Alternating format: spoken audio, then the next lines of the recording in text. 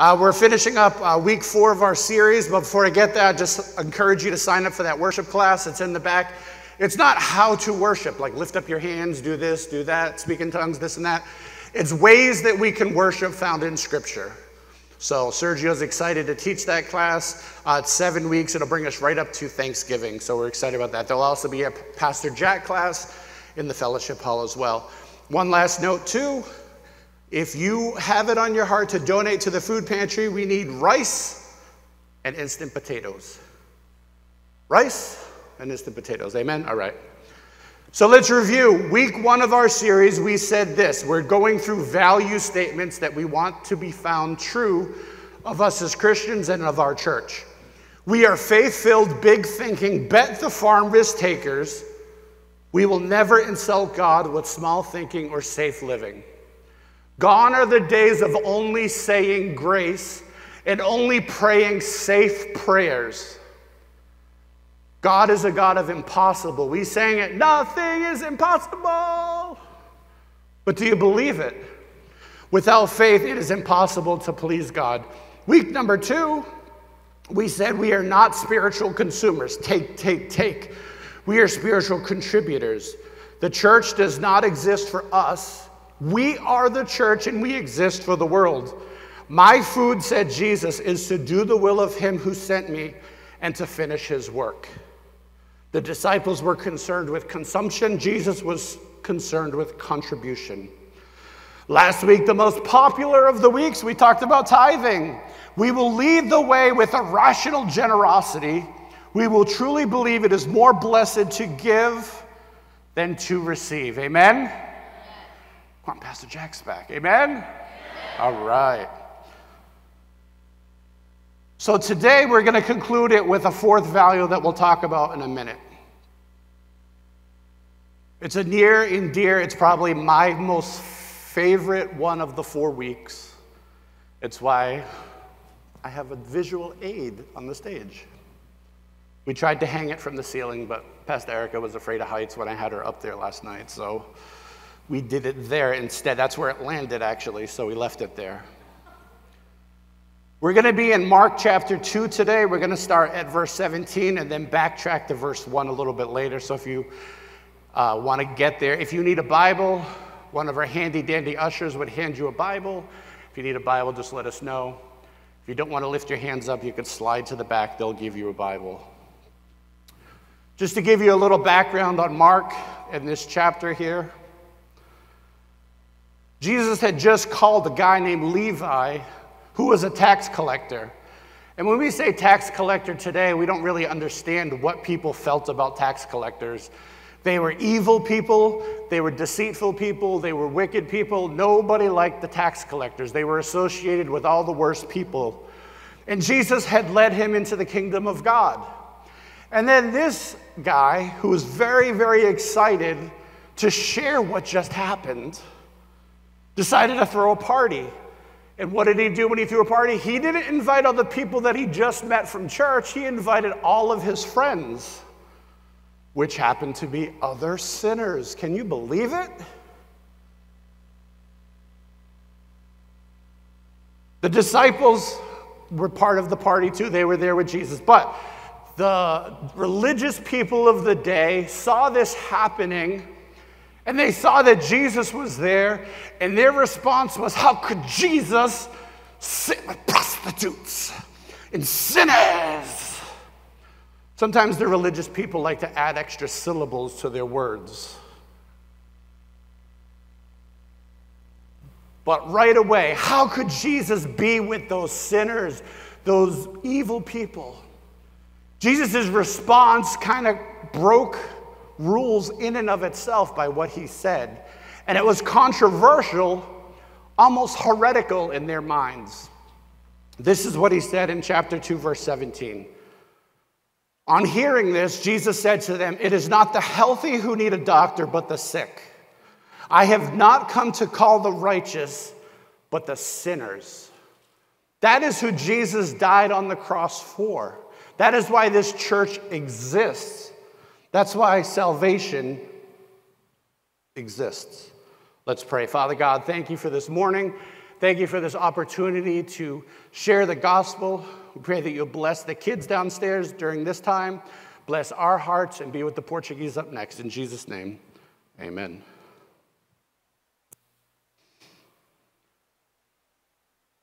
Jesus didn't come for the people that have it all together like you guys. We all have it together, we're all perfect. He didn't come for them. My calling in life was birthed out of the need to help other people. But I grew up in the church. And my calling was when I was on the mission field and I saw that there were people that need Jesus in another country. So I felt called onto the mission field. I grew up in New Hampshire, in the Rochester area where Paula and James are right now, which we miss, but they're having a good vacation. But my calling was to reach the lost and the hurting. But I really didn't get hit with those that are down and out and the real sinners until I find myself running from God and ending up in prison. It was then when I was in prison and was the sinner, was the unrighteous, was the destitute that I started to see, and God opened my eyes more and more of the hurting people, the, the felons, those that no one else could love and it broke my heart even more. We sing it all the time Lord, break my heart for what breaks yours. But do you really walk around the city with a broken heart? Because that hurts.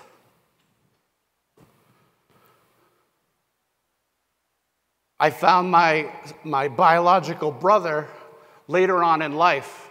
He happened to be a heroin addict on the streets of a, a town that I was working it at a church. Tell me God doesn't have a plan. It was odd, but that's where I found him. I was able to lead him to the Lord, bring him to Teen Challenge, but he kept running and he kept running and he kept running, and he died of an overdose on his toilet. Broke my heart that I couldn't even help my brother. At least that's what I thought. I did everything I could. I led him to the Lord. I helped him. I gave him money over and over again in the right way but he still passed away. So now when I walk around our city and I see the needles and I see the people nodding out because you know that they're on drugs, I don't judge them. I want to help them. And that's exactly what Jesus would do. If that's not your heart, you need to check your spirit. You need to do the John Crist song, Check Your Heart. If you don't know John Crist, it's a good song. Let's go back. Mark chapter 2, starting with one, verse 1. We're going to read through it real quick, and then we're going to dive into it. A few days later, when Jesus again entered Capernaum, the people heard that he had come home. They gathered in such large numbers that there was no room left, not even outside the door. And he preached the word to them. Some men came, bringing to him a paralyzed man carried by four of them. Since they could not get to him, get to Jesus because of the crowd, they made an opening in the roof above Jesus by digging through it and then lowered the mat the man was laying on. When Jesus saw their faith, he said to the paralyzed man, Son, your sins are forgiven. Notice that Jesus took care of his spiritual situation and then he took care of his physical situation. A value that I hold near and dear to my heart is we will do anything short of sin to reach people who don't know Christ. To reach people no one is doing, we will do things that no one else is doing. As we've done the last four weeks, I'm going to put a, a, a thing on the screen to check your heart. Where is your love for people without Christ? It's a scale from one to 10. Make sure I put it. If you're on the one side, you're apathetic. We're just going to call it when you see people on the street, you don't care if they go to hell. That's number one. Number 10, nobody here unless Billy Graham is here. You can be close, but nobody's a 10. Check your heart. Where are you on that scale? In the last seven days, we'll, we'll be more generous. In the last month, 30 days, have you led someone to the Lord? Have you prayed for people to come to salvation? Have you brought someone to church? You're going to be in the 7, 8, 9 category. If you've never led someone to the Lord, if you rarely ever bring someone to church, if you're not praying for someone to come to the Lord, you're probably going to be on the, the, the shorter side one, two, or three. What do your actions say about your belief? You can profess it, you can sing it every Sunday morning, but when you walk out that door onto Rock Street, if your actions don't back it up, it's as filthy rags. It's worthless. These guys heard that Jesus was in town. The, story, the scripture doesn't give a lot of detail about these four people. Maybe they were four strangers, maybe it was their friend. It's irrelevant to the story. But they cared enough to say, Jesus is in town and we want to bring you to him. We don't know how far it was, if it was a short distance or a long distance, but unless it's somebody like a Jonathan, which, you know, we can lift them up. You know, what if it was somebody like me or Ron? Took four guys to carry this guy across town to bring to Jesus. Some of us have a hard enough time just texting someone, hey, you want to come to church? Never mind picking them up and bringing them across town. I think so many times as Christians, we want to simply do drive by evangelism. We drive down the street, Jesus loves you. We don't want to get down and dirty. We don't want to talk and have a conversation because we're human and we don't want to be rejected. But guess who was rejected the most, right? Jesus. And he did it anyways. He knew that that was going to happen. He knew the pain and anguish, but he still did it. Yet some of us can't even ask people to come to church. And it's not about our church, it's about the capital C church, the big church.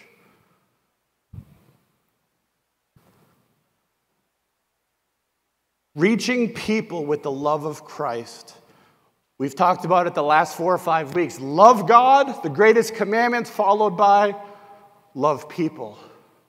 If you do those two things, you're going to change your life, change your world, change your city, change the church. Pastor Jack has talked about for the last, I've been here five years, and I think it was right around five years ago that the Lord showed you the hub of Christianity idea. So, how does a church become the hub of Christianity? By loving God loving people, changing your city. Then you can become a hub of something. You can't just instantly become it. You have to do those things. We can't just get that title. We have to believe that there's a process in that. You look at the, the football games, the baseball games, up goes the banner, John 3:16. I did my witnessing for the week. Is that how you witness? Or the bumper sticker on the back of your car as you cut someone off and wave the thumbs up? How are you sharing your love of Christ throughout the week? It can be simple. Listen, you can't proselytize. You can't, if, if you work at Market Basket or different places, you can't be, hey, can I tell you about the good name of Jesus as you're scanning your things? A lot of employers frown on that. But you know what you can do? Smile. Hey, how's your day today? Oh, you're having a bad day? I'm so sorry to hear that. You're going to stand out from the crowd because you go not to Market Basket because we know Market Basket's the best. But if you go, let's say, to like Shaw's or Stop and Shop, they're grumpy people at those things. They don't even want to look at you. But you can stand out that there's something different by simply smiling. Because that smile then also can lead to, try something different about you, bro. Then he could say, hey, let me tell you about my church. No, let me tell you about my Jesus that made a difference in my life. And then I could just happen to tell you that I go to this great church. But if you're in Dartmouth, there's another great church. It's good to have Timmy and Cassandra here today, too. So, how do we do that? If you are a believer this morning, you can't just want people to come to the Lord. You've got to really, really want it. The first thing you need to do is bear some burdens. We've talked about it over, there's a, there's a pattern for the last four weeks. You have to bear someone else's burdens. Mark 2 3 says, Some men, some men come to Jesus. They brought a paralyzed man, they carried by four of them. We have to bear other people's burdens. We don't just invite people, we bring people. People don't care about how much you know, they want to know how much you care about them. Oftentimes, of course, no one in this church would do this, but you're like, hey, bro, I'll pray for you this week. Then the next week comes and you see him come and you're like, oh, dear Lord, please be with Trot. Hey, Trot, I prayed for you this week.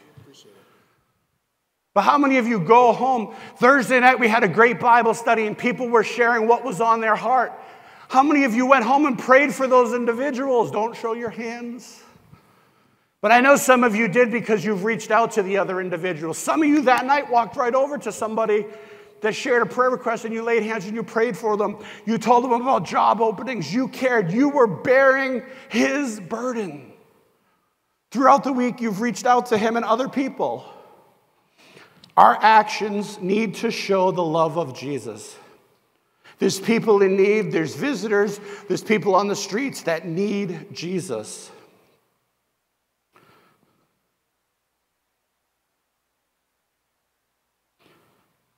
These four guys, they brought them to Jesus. And they got to the house, but there was no room to get into the house. They could have just given up then, left them outside. Yo, you okay? All right. But they didn't. They got up and they tried to figure out what can we do? They looked around and they said, Hey, there's Jonathan coming across the stage. You guys thought it was part of the, the skit, right? But they could have. Just think about it. All these people, so when they get there, the door of the house is there. They could just see the backs of people listening to Jesus preach. Jesus was probably preaching such a great message. You know, if it was today, they'd pull it out there for, oh, I got to tweet that. Oh, yes, amen, Jesus. But the people that were there, they didn't care about the people on the outside. Sometimes I think we come to church on Sunday mornings and we're here worshiping in the first, the holy pews up here. You know, move forward, move forward. But we're worshiping God, but we don't care about the unsaved, the people that came in behind us. We don't care about the people outside. We don't even care if they go to hell. I know that's nobody's heart, but it's a lot of our actions or lack of actions that are saying we don't care if you are going to hell. How can we care about somebody's burden if we're not there? If they're hurting, will you listen to them? If they're having a baby, will you go visit with them? If their mother or father dies, will you go to the funeral with them? Text them. If they're sick or had surgery, will you make meals for them? Praise God, that's happening in this church. And so are some of those other things. This isn't a message of condemnation, it's a message of opening your eyes to what you're doing, and hopefully you're desiring to do just a little bit more. Because Christ the Rock is out on the streets. We are doing things, but we could do just a little bit more. There's a story that I heard of of this girl named Amber. She was a real estate agent. And she was all excited because from one interaction with this couple, she was getting three commissions. And in the real estate world, that's huge. So the situation was it was a husband and wife, they were getting divorced. So she was selling both of their houses. And then, no, she was selling their house and then buying two houses for each of them. So that's three commissions. As she started to hear their story, her heart broke for what was happening. So she decided to give them a book on marriage, bring them to church, and prayed over their lives. Now, I know some of you are thinking, well, why would you pray for that? You're going to get three commissions on three big houses. The situation led to the marriage was restored, praise God.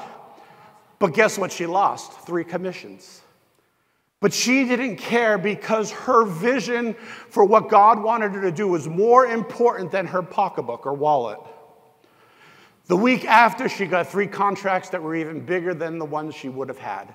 So God was faithful. But what would you have done in that situation? Something to think about.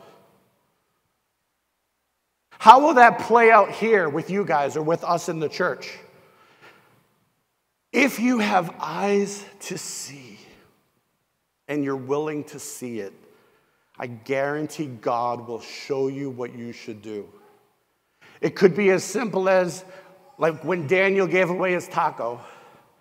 Or it could be somebody that popped in the office this week and gave me 20 bucks and said, the next time you go on a walk, get some gift cards and give this away.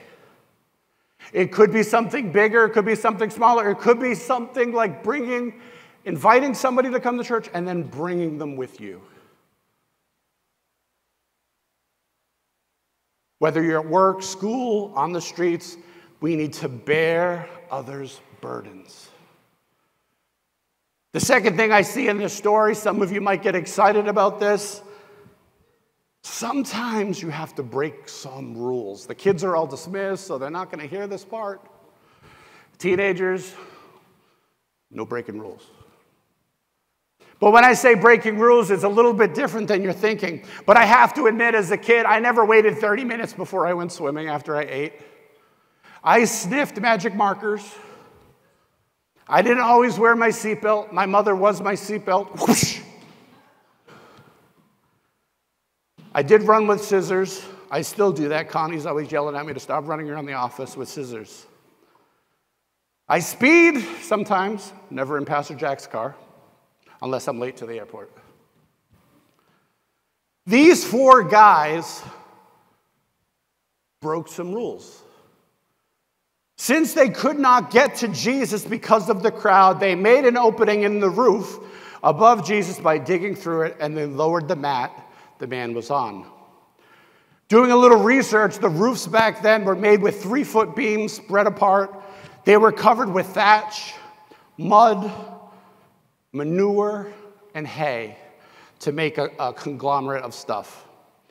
These guys climbed up on that roof. They were so determined to not just bring this guy to church, but bring him into Jesus. They started to dig through it manure. Do I have to explain it more? They were willing to get their hands dirty to bring this guy for his miracle. Some of us can't even invite someone to church on Facebook. These guys got dirt and manure under their fingernails. My prayer is that you guys, that we are willing to get our hands dirty for the kingdom of God. That might mean shaking hands with somebody that you don't think you should shake hands with. That might mean hugging somebody that makes you go mm, as you're hugging them. Because it's just a reaction, it's not your heart, but it happens. It might mean putting someone in your car and driving them to a hotel.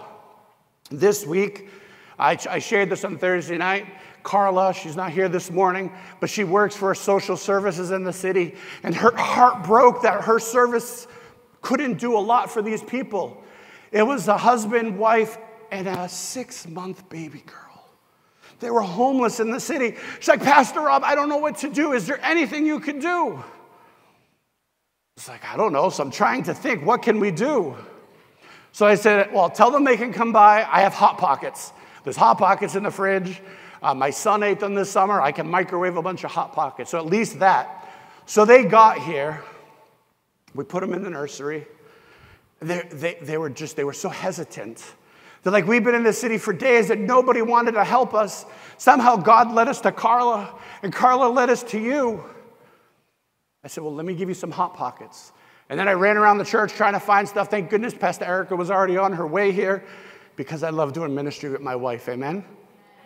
So she gets here, we kind of brainstorm. Then I remember, well, they've been trying to call this number all day, the DHCP, I don't know, some number. And they kept calling, and they kept getting hung up on. So I called First Step Inn. No, we don't take anybody with kids. Well, where are these people supposed to sleep tonight? The night before, they slept at Turner Park. I thought of you because of Turner Park. They slept in Turner Park with their little baby girl. My heart broke, not just because I have a heart for outreach, but because my little grandbaby, that could be my grandbaby. So I'm like, what else can we do? The shelters all said they couldn't take them. So I remembered. The mayor came here once, gave me his number. So it started a long process. Long story short, because this church has helped the city so much, we had a little leverage to be like, come on, come on, come on, come on, come on. And they got him into a hotel for the night, praise God. And then the next day, as far as they know, they got a hold of the and got into the system. But if I didn't have a heart for that, if Carla didn't have a heart for that, those people would have just been passed over because they told me different churches in the city that I won't say that said, Oh, sorry, there's nothing we can do. Yes, will there be days that there's nothing we can do? Because I can't keep pulling out the church credit card and be like, All right, here's a hotel, here's a hotel, here's a hotel. Just for clarification, I didn't do that. We did buy them dinner, though. We did feed them lunch. We did give them toiletries and stuff that we have here. Why do we have all that? Because of last week's message generosity because some of you have given above and beyond. We have that stuff. These guys were willing to get their hands dirty. The reason I had gone into that story was because when we drove them to the hotel, the car smelled. It just did. They had been living on the streets. They didn't have showers. They didn't have this. Great people. We met a physical need through the help of the city, but then we talked about a spiritual need. We said, Can we pray with you? They were both kind of like, Uh. I waited till they were out of the car so it wasn't a hostage situation. I said, because they could have said no and just walked in. They said, Yes, please pray for us. Prayed for them, left the church's phone number. If you guys need anything, let's connect. Haven't heard from them again, but I'm hoping we do eventually. These four guys were willing to break rules, get their hands dirty for the kingdom of God. I can imagine in the situation where the, the guy who owned the house was probably looking up and seeing his roof start getting separated. And, and, but I'm sure Jesus took care of the situation. We don't know everything that happened outside of the narrative. But if the guy cared enough to have Jesus in his house, he probably had the right heart. We say anything short of sin because obviously we can't sin to bring people. The ends don't justify the means. But there are things that we can do as individuals and as people that can bring people to God. As a church, we give away water, we give away snacks, we give away turkeys, we give away gift cards, we give away blankets. Why do we do that? There's not a whole lot of churches that do that, and it doesn't make sense in a post COVID society to spend that kind of money. But because it plants seeds, it meets needs, and people will come to the kingdom of God because of that. What else can we do? I believe as a church that we should be creative and innovative. If we want to reach people that nobody's reaching, we have to do things that nobody else is doing. Well, what is it? I don't know. But I want to be open to the Holy Spirit. What can we do? Lord, show us how to do something. If we go back 100 years, the church was the epicenter of creativity. The church drove the arts. The center of the city was artsy and this, that, and the other. We led the way with cultural influence. Like I preached before, we need to stop going to church and be the church. What organization should be better equipped to get the word out than the church? What organization should be better equipped to meet the needs in the community than the church? We talked about the book of Acts last week where nobody needed or wanted anything because they worked together. Nowadays, we've delegated our innovation to Apple. We handed off our creativity to the Hollywood.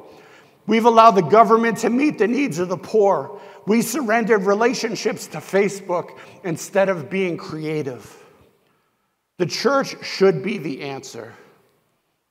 We want to, we have to. Why? Love God, love people. It's not just who we are, it's what we are. We are the light of the world. Real quickly, because time is slipping away.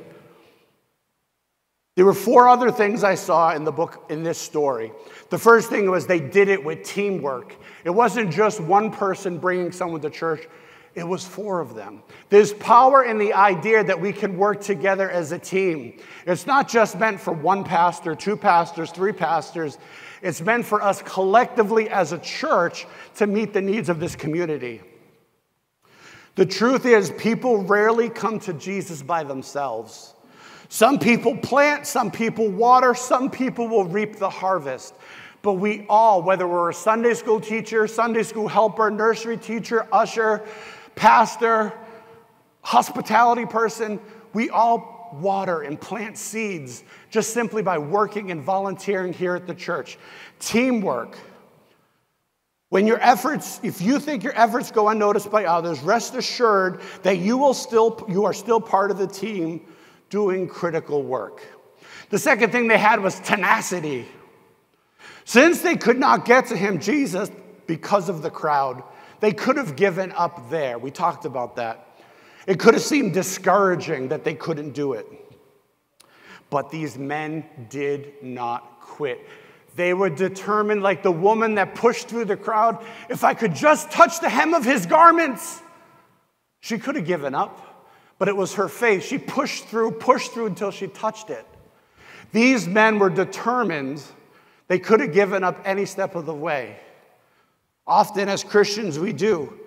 We'll say, well, we did our best, but I guess it just wasn't enough. Maybe it's just not the right time. Maybe I'm not the right man for the job, or it looks like God simply closed the door. In 1 Corinthians 16 9, Paul writes, Because a great door for effective work has opened to me, and there are many who oppose me. Paul was saying that there was an opportunity, but he had opposition. Just because you reach opposition doesn't mean that that's a closed door. Sometimes you need to pray a little harder, try a little harder, press and push. Notice that open doors and opposition can go hand in hand. Obstacles do not necessarily mean that a door is closed. Sometimes you just have to push a little harder. There is not a single thing worth accomplishing for the kingdom of God without the possibility of facing difficulty, opposition, hardship, or setback. Five weeks ago, I asked you guys to start praying because I said our church has been under spiritual attack.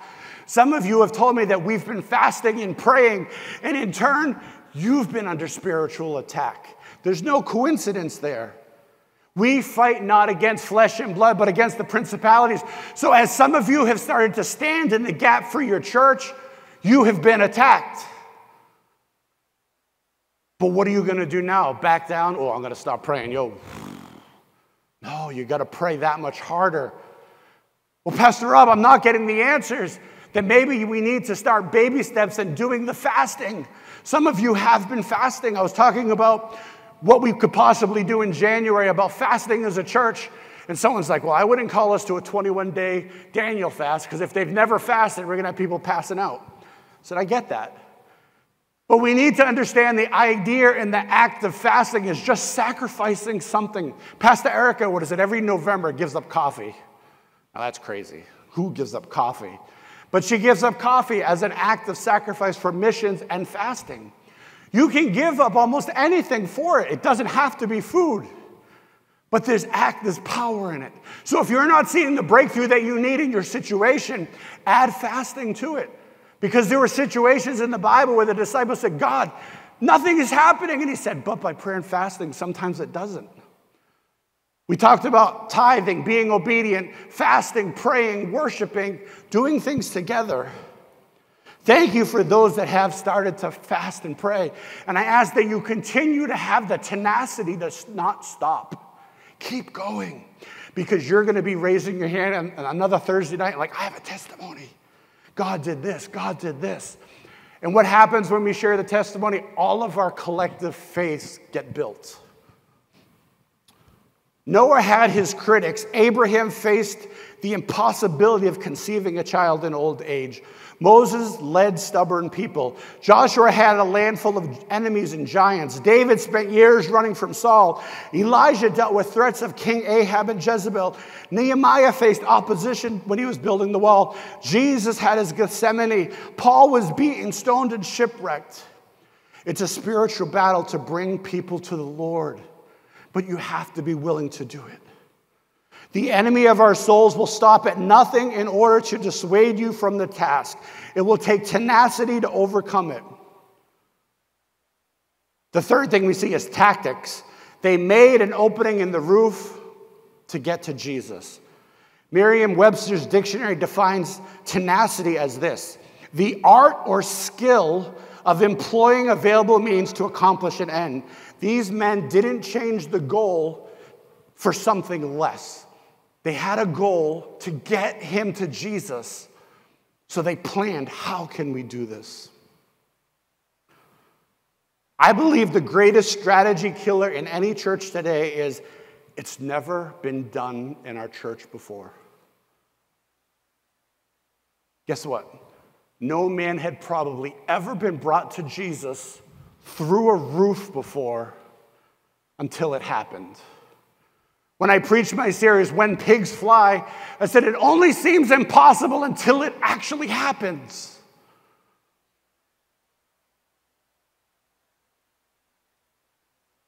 But it worked. They went through the roof. Praise the Lord that He is a God of new things. In Scripture, we read about new songs, new mercies, new creations, new heaven, new earth, new names, new wineskins.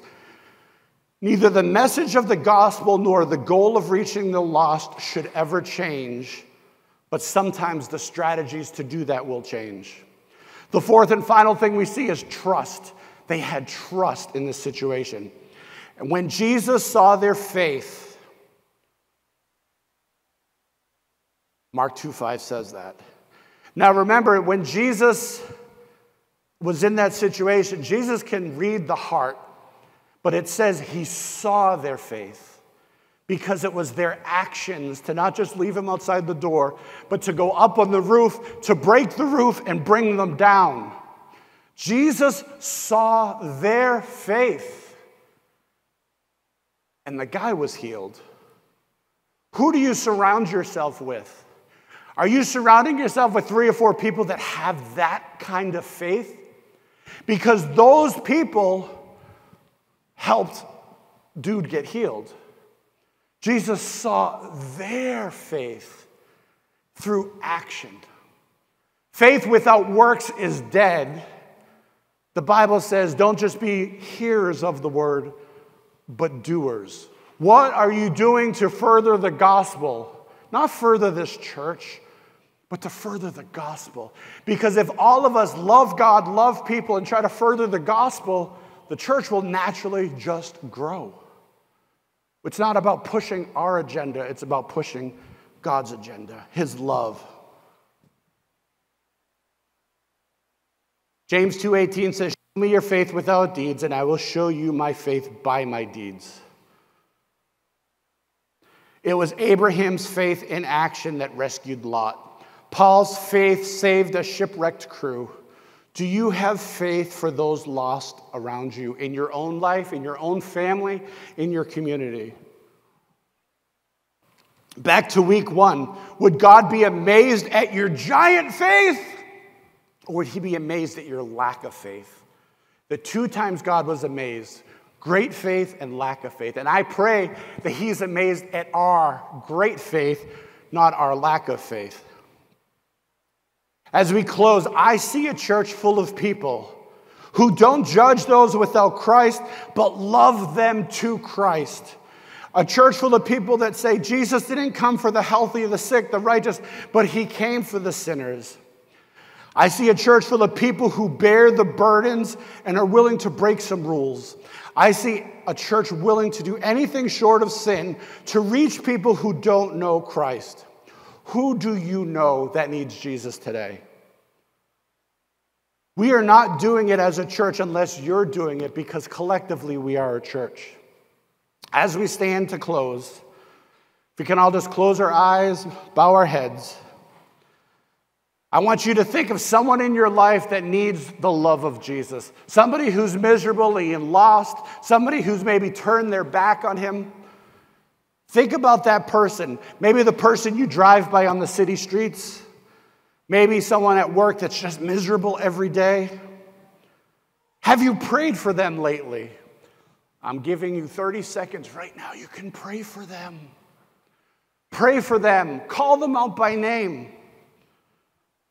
Ask God if He wants you to fast for them, to believe that God would bring them to Him. Thank God for helping them in their situation. Thank God in advance for bringing them.